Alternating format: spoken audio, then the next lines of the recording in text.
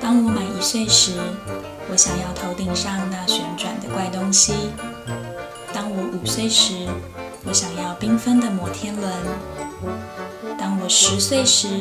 我想要一只可爱的小狗；当我十五岁时，我想要漂亮的衣服；当我二十岁时，我想要一台机车、一只 iPhone、高跟鞋、单眼相机，去东京购物。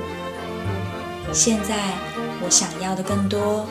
可是需要呢？也许是可以让我自在呼吸的空气。